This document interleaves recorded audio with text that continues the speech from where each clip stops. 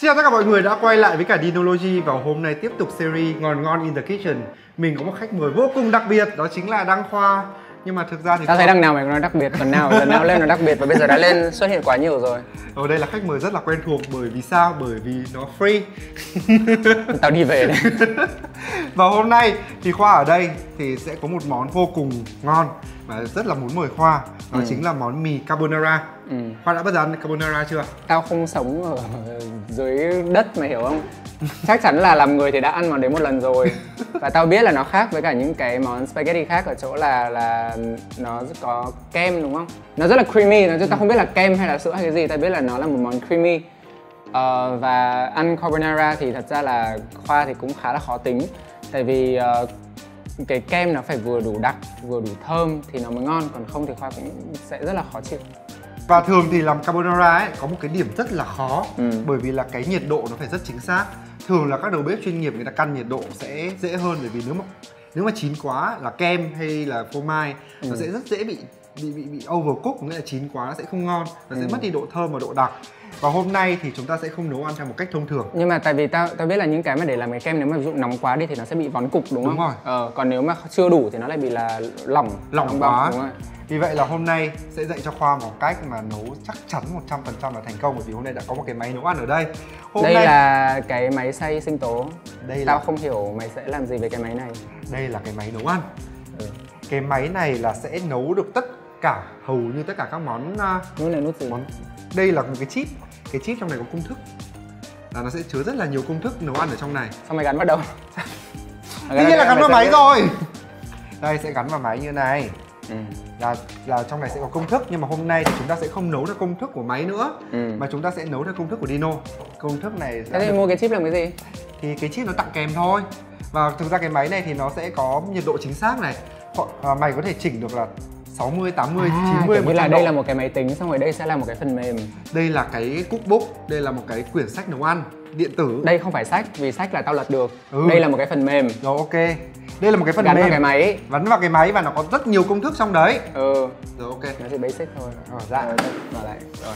Ôi mệt quá. Thấy chưa? Khách mời là đăng khoa thì chúng ta sẽ lúc nào phải có câu hỏi thì mới mới mới học được nhiều chứ rồi. Và cái máy này, Ừ. điểm đặc biệt của nó là sẽ chỉnh nhiệt độ rất là chính xác. Ừ. Có thể chỉnh từ ờ, 30 cho đến 120 độ, chính xác khoảng 5 độ một. Vì vậy là nếu mà mày nấu trên bếp ấy thì rất khó căn nhiệt độ đúng không? Ừ. Đây là cái máy này rất là chính xác. Ừ. Ngoài ra ở bên trong nó có một cái tay quay. Nghĩa Ừ. là vừa nấu nó vừa quay. Và carbonara của Dino hôm nay thì có nấm. Ừ. Đây gọi là nấm button. Chúng ta sẽ cắt lát như vậy này. Ừ. Đó. Và bây giờ nhiệm vụ của Khoa là cắt lát hết đi. Còn bây giờ Dino sẽ bắt đầu giới thiệu cho mọi người cách sử dụng máy. Nó bị rách này. Dao này bị cùn à? Không, dao này rất sắc. Dao này có thấy tên Dino Vũ ở trên không? Dao này là dao đặt riêng cho tao đó. Khoa biết tại sao khi mà cắt là tòa hay bị rách không? Bởi vì mày ấn xuống.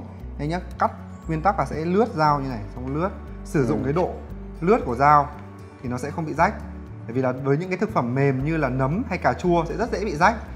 Vậy là phải lướt lướt lướt như này, sử dụng cái độ sắc của dao chứ Tao không lực. toàn tao toàn No, không? không no, rách no. luôn. No. Cũng, cũng là một cách. Nhưng mà đấy không phải là cách sử dụng. Đấy sẽ thấy lướt không? Wow. Đó, sử dụng dao cũng phải có cách chứ. Mày biết cái lướt bông phấn cái đánh này không? Ừ. Ừ, Ra vẻ.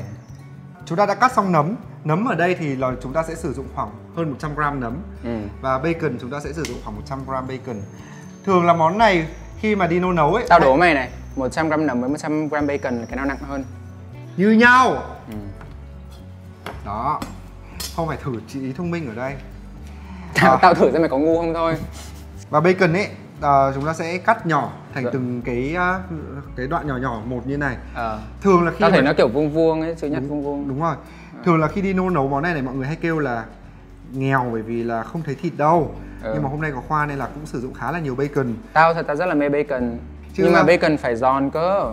Còn carbonara thì bacon nó không không giòn lắm. đúng rồi bacon người ta cho vào trong carbonara là để lấy cái mùi khói ở trong mỡ ok và bây giờ chúng ta đã xong công đoạn chuẩn bị khoa thấy là ở đây chúng ta có phô mai parmesan Parmesan.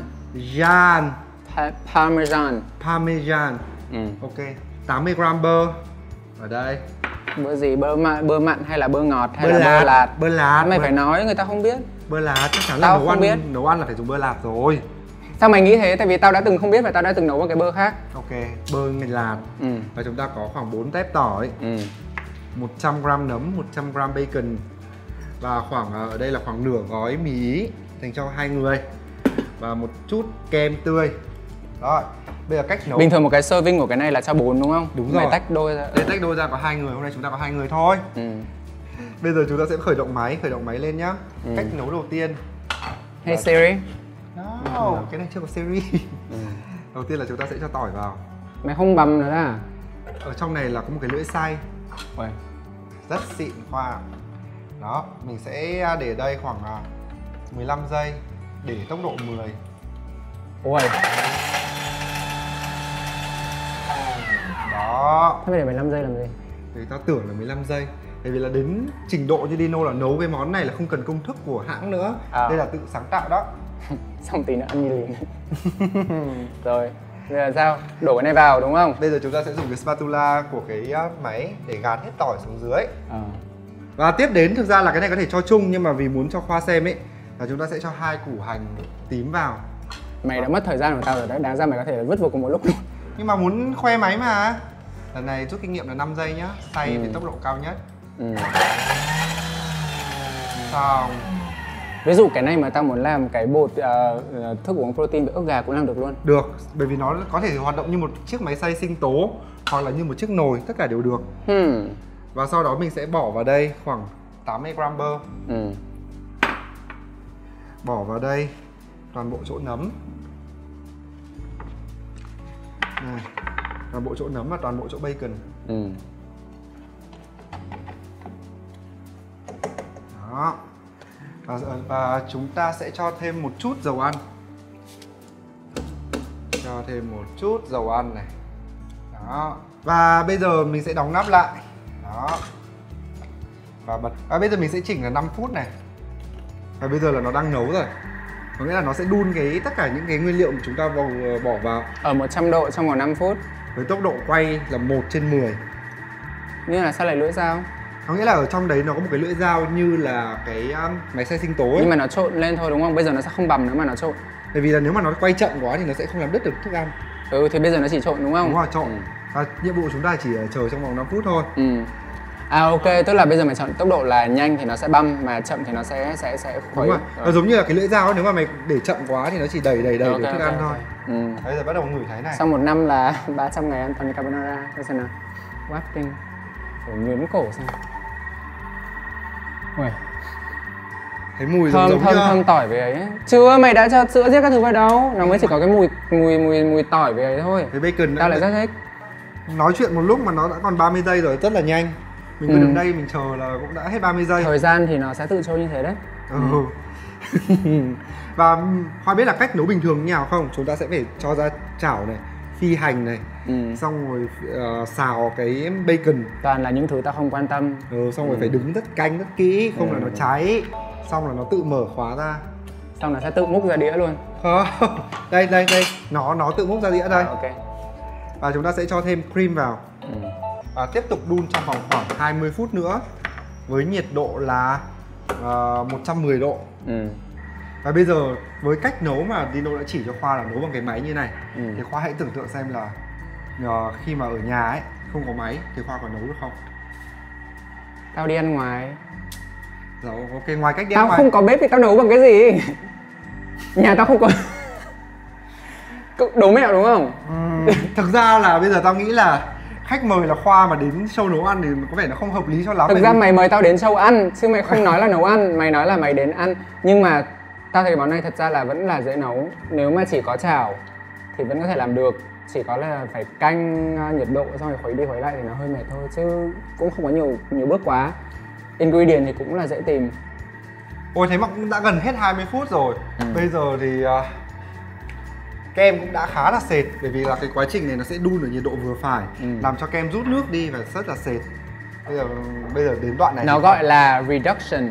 Ờ Thế- Ờ nhưng mà từ từ trước khi À. ra mày có ớt bột không? Tại vì tao ăn cái này tao phải có ớt. Nếu không có ớt, một là ớt ờ, ớt khô, Paprika hai là ớt cay nữa cơ. Paprika nó chỉ chỉ thơm thôi. Có ớt cay, có ớt cay siêu cay của Nhật luôn Rồi ok. Rồi Và hôm nay Khoa sẽ thử thách ờ, sự ăn cay của mình một cái ớt gọi là dead sauce của Nhật không cái đấy tao nói là cay bình thường tao không cần thử thách gì hết tao đã quá khổ rồi chưa đủ khổ sao cái tô này là để trộn à Cái tô đấy để đổ sốt ra. Còn một điều quan trọng nữa là mình quên chưa nêm muối. Thường là nêm muối chúng ta sẽ nêm vào giai đoạn cuối như này này Tùy theo khẩu vị của mọi người. Muối thì mình có một cái, cái linh cảm rất là rõ ràng Mình sẽ nêm ở đây khoảng thảo nào nãy giờ tao thấy cái vlog này có nhạt nhạt nó ra thiếu muối. 4, 3, 2, 1 Hết giờ. Bây giờ ăn được chưa? Bây giờ sao ăn được? Bây giờ là chúng ta sẽ đổ ra để còn luộc mì nữa chứ. Ơ à, được rồi luộc trong này luôn à? Đúng rồi. Và đây là thành quả bây giờ chúng ta có Sốt carbonara. chúng ta có sốt carbonara. Nấu từ đầu không biết đây là món gì. Không tao phải xem xem là cái cái tình trạng như nào. Cái đổ ra đây đúng Đổ không ra đây đúng rồi. À, Có cái máy này thì nấu ăn rất mày bảo một nửa mày đổ hết vào rồi. Một nửa là còn đây là một nửa đã đong sẵn à, à rồi. một nửa của cái gì? Một nửa một nửa của 100 gram là 50 gram. Tức là bỏ 50 gram vào trộn vào đây trước gì? Đúng rồi. Rồi đấy bây giờ chúng ta đã lấy được hết ra rồi này rồi sẽ trộn đều lên. Thật ra những cái dạng mà ờ, gì nhỉ? Những cái món ăn mà dụng ờ, có green ấy như cái sợi mì này này nó ở bên ờ, mỹ rất thịnh hành nó sẽ bán trong một cái hộp có cái mì đã có sẵn này. Ừ. xong nó có cái bột là cheese bột ờm, của cái này làm thành bột này. Làm bột luôn. Ờ xong rồi nó cũng cắt sẵn cả cái thịt sông khói cho vào đấy tại vì thịt sông khói thật ra bảo quản rất là dễ. Mày chỉ cần đổ vào mày cho nước vào là xong. Nó được gọi là những cái gọi là helper helper tức là trong người nào lười xong nó chỉ cần giúp ấy nó giúp mình nấu rất là nhanh. Thế quá là lười đúng không? Thì hồi xưa tao sống bằng những cái đấy đấy. Và bây giờ là Dino sẽ phải rửa qua cái này và đong khoảng một lít nước vào đây. Nhà mày có chó đúng không? Ừ có. Cho vào nó liếm cho sạch. Thôi nóng lắm. Ừ. bởi vì là mình sẽ luộc mì. Mày thế mày cũng cũng trả lời được á. Mày định cho nó liếm thật à?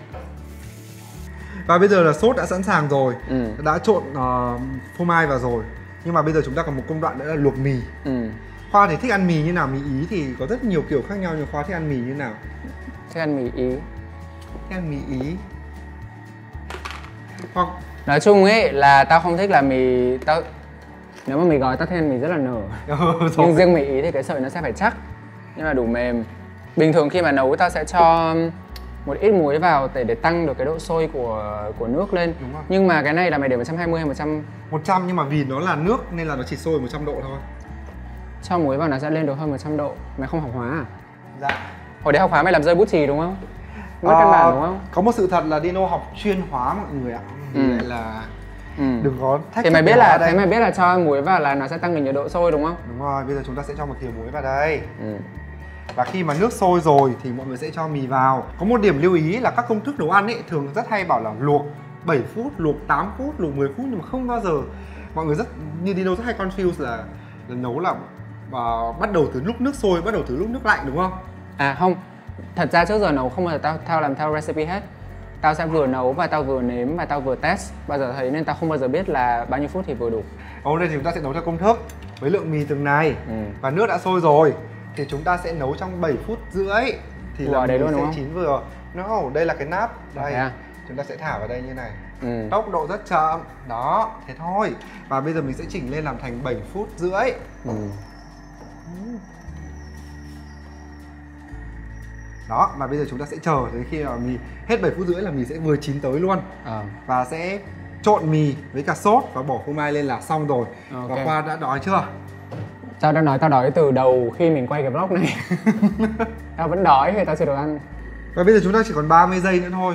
ừ. Khoa thì không muốn ăn mì quá chín đúng không? Ừ. Vậy là khi mà chúng ta đã nấu bằng cái máy này thì thời gian và nhiệt độ được căn rất kỹ Ừ. nên là chắc chắn là Dino tin rằng Khoa, Khoa sẽ hài lòng với cái độ chín của mì. Ừ. Đợi hai khoảng 20 giây nữa. Mà có một cái điểm đặc biệt của máy này chắc là Khoa chưa biết nó còn là một cái cân. Ừ. Trong lúc chờ thì sẽ giới thiệu. Nhìn nhá. Này, mình đặt đồ lên là nó cân được đồ luôn. Rồi, hay thế Ừ, có nghĩa khi mà mình cho đồ vào ấy Ví dụ là bảo bỏ 20 gram nấm Thì mình cứ bỏ dần dần đến khi nào máy báo 20 gram là được Máy kỳ diệu không? Hóa thật là video Ờ, thành ra là ai cũng có thể nấu được Với máy này thì trẻ con cũng thể nấu còn ăn cái được. này là gì cái này nghe nhạc à? quay đảo chiều. À. Quay đảo chiều để cho nó không bị cái đứt. này cơ. Cái này là các uh, công thức. À. Ấn vào thì nó cũng sẽ có những cái công thức step by step. Ừ. Đây, mì đã xong rồi. Và bây giờ thì Dino sẽ đi uh, để ráo nước cái mì này nhá. Và đây chính là thành quả chúng ta Mì luộc sau 7 phút rưỡi. Ừ. à, bây giờ chắc là Dino sẽ phục vụ thôi. Sắp được ăn rồi. Vui lên nào. Khách mời gì mà mặt ỉu xìu đói đói quá rồi sau khi mà chúng ta đã cho mì ra thì chúng ta À. sẽ múc sốt lên Ừ. hôm nay rất là thương khoa vì đã đến đây quay và chờ nấu ăn Ừ. nên là sẽ cho rất là nhiều sốt chứ bình thường thì sốt sẽ không được nhiều này để chúng ta sẽ cho một chút phô mai lên rồi ớt đâu ớt đợi một xíu mình cùng nấu ăn và mình cùng ăn ừ, ừ. Ta-da! Và bây giờ là món carbonara đã xong rồi Ừ. Sao đã trộn lên rồi đã bảo là table manner là chúng ta phải chờ chủ ăn Chủ nhà chưa ăn mà đã Tao- trộn lên rồi tan cần hết cả nửa đĩa rồi ấy Thế à, bây giờ nào? là Dino sẽ à, ăn Khoa ăn đi Khoa. Hôm nay thì có khách mời nên là sẽ nhận xét rất là tao cần một khách chút quan. ớt. Là ớt Việt Nam. Yeah. Ừm, ừ. ừm, Không hề cứng mà đúng là giống với carbonara. Giống carbonara là sao? Đây là món carbonara mà Khoa không trước trước đây thì tao chưa có đủ cái lòng tin lắm. Tao hơi lo lắng mà sau khi ăn xong thấy đường đây đúng là carbonara. Ừ. Và Khoa thấy là mì có cứng không? cứng. Nhưng mà khi mà trộn cái này vào đây là một cái độ vừa của carbonara. Mềm hơn nó sẽ rất là ướt. Không thật ra nó cũng là một cái cái personal preference thôi. Tao thế nào tao ăn cũng được cả. Thế còn về vị của sốt thì Khoa nhận xét à, đôi lời cho mọi người cùng biết nào. Ờm, theo như cái kinh nghiệm của khoa ấy thì là Việt Nam mình sẽ thấy là hơi bị béo quá và sẽ ăn tầm này là vừa. Và tập hôm nay của Ngon Ngon in the Kitchen Dino đã hướng dẫn cho mọi người nấu carbonara bằng chiếc máy Thermomix. Mặc dù là không biết là mọi người có ở nhà hay không nhưng mà đây cũng là một món rất là dễ ăn, dễ làm, nguyên liệu thì tương đối là rẻ so với cả đồ Tây. Thì mong là mọi người có thể nấu ăn tại nhà. Và nếu mọi người có bất kỳ thắc mắc gì về món ăn này thì hãy comment bên dưới và nhớ like, subscribe cho Dinology. À, và các bạn hãy đón chờ tập sau. Luộc trứng trong lò vi sóng Và các bạn hãy đón chờ tập sau liệu xem Đăng Khoa còn có được mời đến Dinology nữa hay không Hay là đã bị đuổi ra khỏi đây rồi mời này nỉ tao mới sang tao đi ăn đấy Và bây giờ xin chào và hẹn gặp lại mọi người trong số tiếp theo nhé. Tạm biệt.